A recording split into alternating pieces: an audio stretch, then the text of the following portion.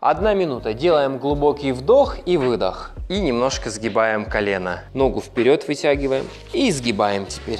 Стараемся чуть-чуть левое бедро опустить вниз.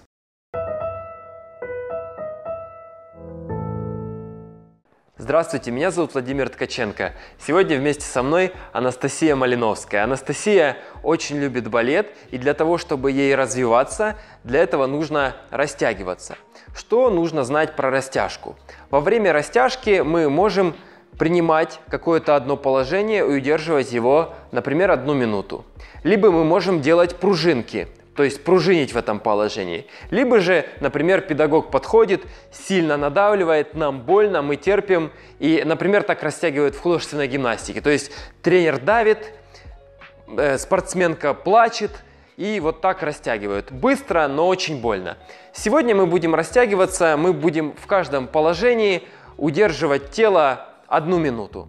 Также важно знать то, что растягиваться нужно с обоих ног – то есть всегда у нас какая-то нога, она лучше растянута, чем другая. И поэтому мы тянем то положение, которое у нас лучше получается, и не тянем то, в котором нам очень больно находиться.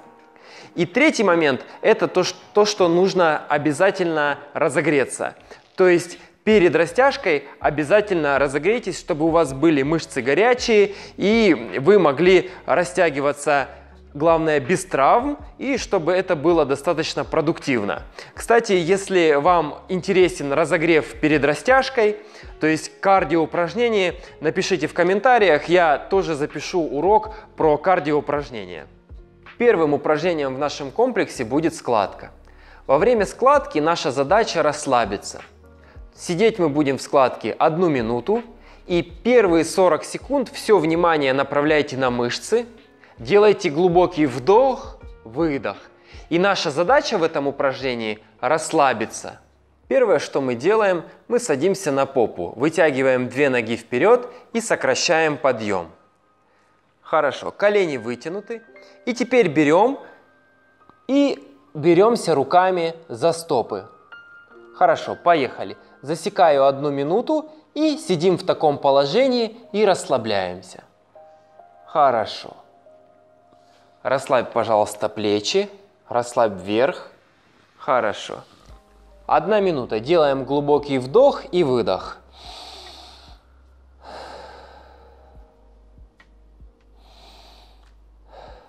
Хорошо. В этом упражнении мы должны почувствовать, как у нас тянет заднюю поверхность бедра. Постепенно она должна расслабиться. Хорошо, закончили. Почувствовала заднюю поверхность да. бедра? Отлично. Итак, начинаем делать подготовку к шпагату. Ставим правую ногу вперед. В колени угол 90 градусов. Вот здесь угол 90 градусов.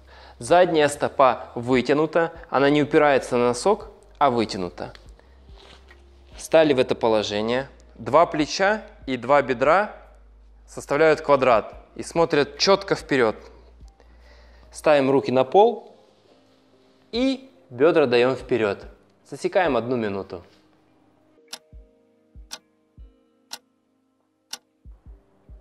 Хорошо.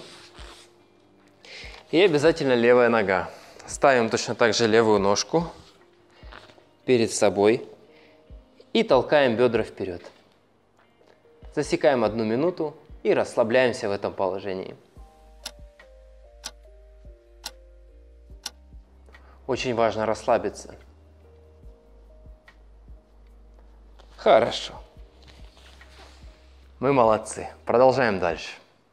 Следующее упражнение включает в себя две растяжки. Мы становимся на колено, вытягиваем ножку вперед и делаем подъем на себя. И теперь сгибаемся к ножке. Поехали. Сидим минуту. Хорошо. Сделать нужно два бедра в себя и расслабить плечики. Отлично. Подъем еще на себя.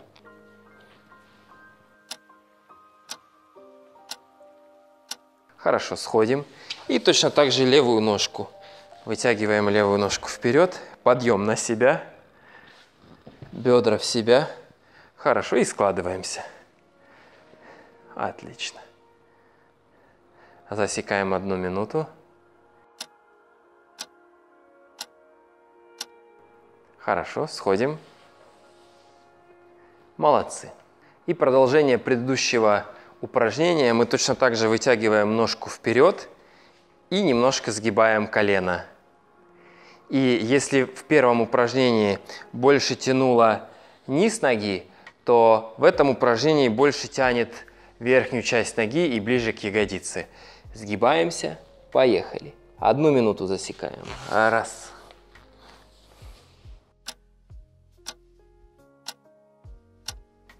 Хорошо. Переходим на левую ножку. Два бедра ровно. Колено чуть-чуть согнуто. И здесь тоже угол 90 градусов. И складываемся к ноге. С чуть-чуть согнутым коленом. Подъем на себя. Засекаем минуту.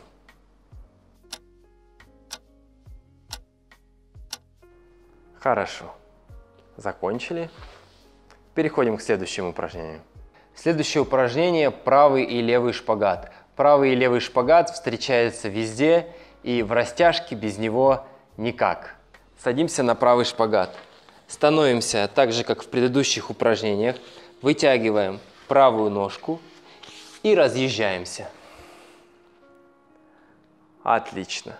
Засекаем одну минуту. Также мой педагог еще любил делать вот так. Он подходил и поднимал чуть-чуть ножку, чтобы тянуло еще сильней. Конечно, это больно, но мы потерпим. Мы хотим хорошую растяжку, поэтому нужно немножко потерпеть. Хорошо. Теперь пойду подниму заднюю ножку.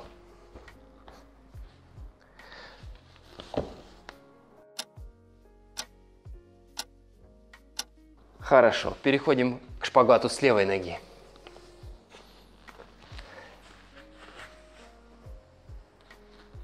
Хорошо. Верх расслабить. Засекаем минуту. Можно немножко усложнить. Лучше не буду смотреть лицо Насти, потому что, наверное, ей не очень приятно. Но мы хотим танцевать, поэтому нужно немножко потерпеть. Хорошо. Теперь задняя нога.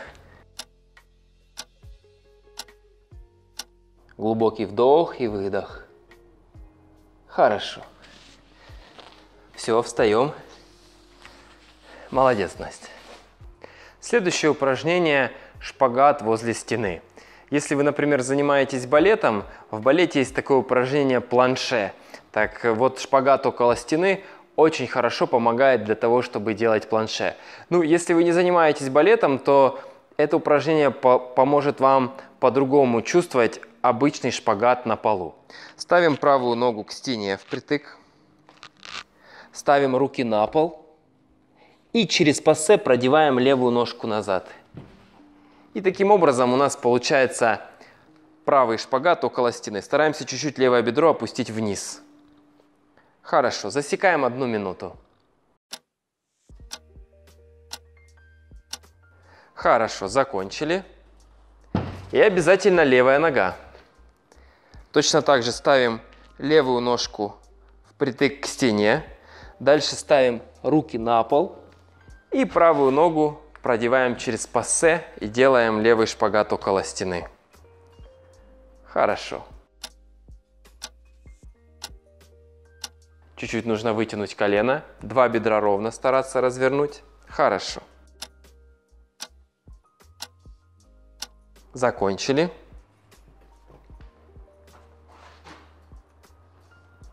Молодцы. Переходим к следующему упражнению. Оно мне очень нравится тем, что здесь мы растягиваемся естественно. Сейчас поймете, о чем я говорю. Ложимся на пол. Попа, попой вплотную придвигаемся к стене. И руки точно так же ставим вплотную к стене. И раздвигаем ножки в поперечный шпагат. Почему естественная растяжка? Потому что здесь никто на нас не давит, и наш корпус тоже не давит на ноги. То есть ножки опускаются под своим весом.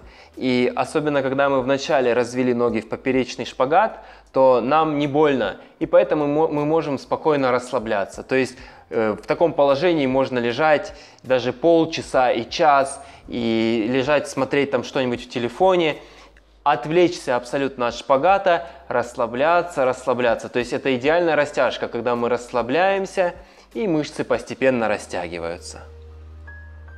Хорошо. Полежали так одну-две минуты, полностью расслабились, собрали ножки.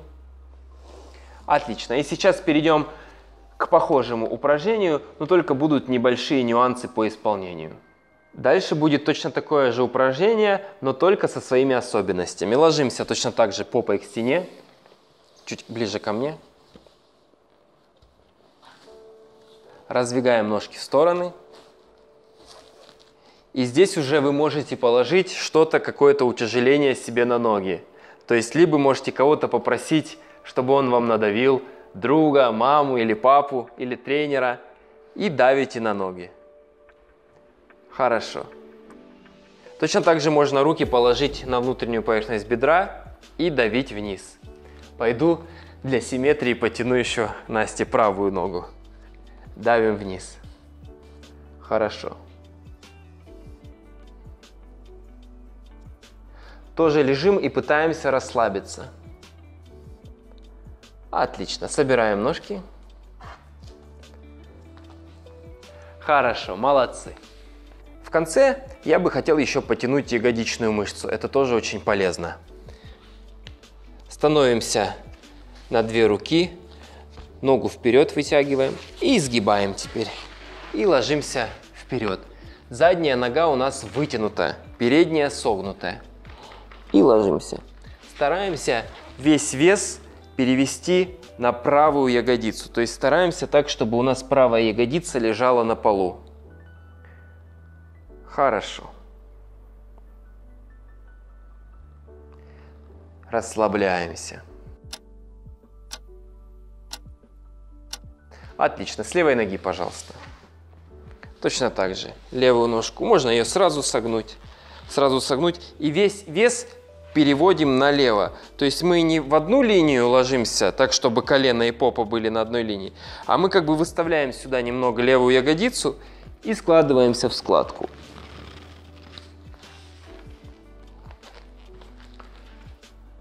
Хорошо.